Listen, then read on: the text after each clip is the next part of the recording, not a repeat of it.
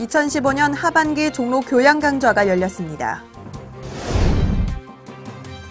자연보호 사생대회 시상식을 진행했습니다. 가을 학기 대학생 행정체험단 구청장과의 대화가 있었습니다. 놀이터 변신 프로젝트 놀이터가 시끄러워야 마을이 평화롭다 행사가 열렸습니다. 시청자 여러분 안녕하십니까? 종로 주간 뉴스입니다. 첫 소식입니다. 지난 7일 종로 노인종합복지관에서 2015년 하반기 종로 교양 강좌가 열렸습니다. 이날 강좌에는 군의 어르신들이 참석했고 개그우먼 김보화 씨가 웃으며 살자, 웃음이 만병통치약이다라는 주제로 강연을 진행했습니다.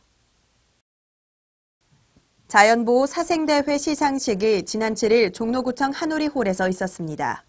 이날 시상식에서는 내빈 소개와 축사, 자연보호 헌장 낭독을 진행했으며 대상, 금상, 은상 등에 대한 수여가 이어졌습니다. 가을학기 대학생 행정체험단 구청장과의 대화가 지난 8일 기획상황실에서 있었습니다. 이날 대화는 주민이 참여하는 행정을 구현하고 대학생들의 창의적인 아이디어를 청취하기 위해 마련됐습니다. 지난 9일 창신숭인 도시재생지원센터에서 놀이터 변신 프로젝트 놀이터가 시끄러워야 마을이 평화롭다 행사가 열렸습니다. 이날 행사에서는 청소년과 학부모들이 참석해 지역 내 놀이터에 대한 개선점과 아이디어를 공유했습니다. 다음은 종로구 소식입니다. 종로구 황학정 국궁전시관에서는 활 만들기 프로그램을 진행합니다. 매주 금토 일요일에 진행되는 이번 체험에서는 전통 대나무를 가지고 대나무 활을 직접 만들어 볼 수 있는데요.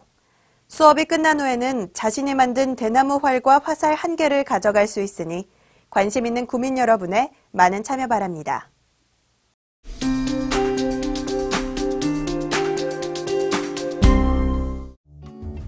안녕하세요. 종로구 대표 SNS 서포터즈 생생 종로통의 주민 리포터 김선진입니다. 오늘 생생종로통에서는 이명근 블로거 기자가 다녀온 백인제 가옥을 소개해 드리겠습니다.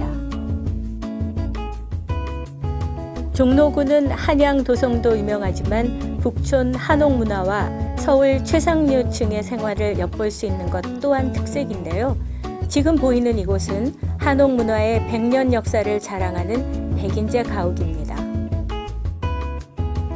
올 여름에 개봉했던 영화 암살 속 대궐 같은 강인국의 저택이 일부에서는 컴퓨터 그래픽이 아니냐는 말이 나올 정도였는데요. 그 영화 속 촬영지가 바로 백인제 가옥이었다고 합니다. 대궐 같은 백인제 가옥의 첫 번째와 두 번째 주인이 지냈던 서재와 사무실입니다. 첫 번째 주인인 한상용은 일제강점기 시절 은행가였고 두 번째 주인인 최선익은 조선일보사의 주주이자 기자였던 민족 언론인인데요.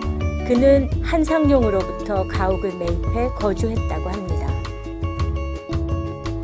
그리고 세 번째 주인이었던 백인재의 부인 최경진은 사실상 가장 오랜 기간 가옥을 지켰고 백인재가 매입한 1944년부터 60년이 넘는 기간까지 이 가옥은 원형에 가까운 모습을 유지했다고 합니다. 현재 백인재 가옥은 일반인들에게 상시 개방이 되고 있지만 안채는 들어가지 못하는 상태라고 합니다. 하지만 조금이나마 입구에서 안채를 바라볼 수 있다고 하는데요. 굉장히 비밀스럽고 호기심을 불러일으키는 이곳에서 가이드 투어를 통해 궁금증을 풀어볼 수 있다고 하니 꼭 한번 놀러 오세요. 구민 여러분의 손과 발로 만들어지는 종로통. 오늘은 여기까지입니다. 종로구는 인왕산 숲길 산책로 조성 사업을 지난 11월에 완료했습니다.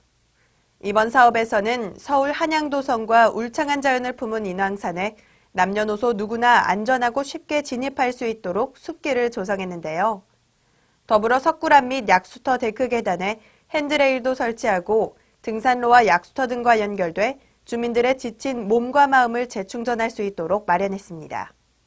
종로 주간 뉴스 여기서 마칩니다. 시청해주신 여러분 고맙습니다.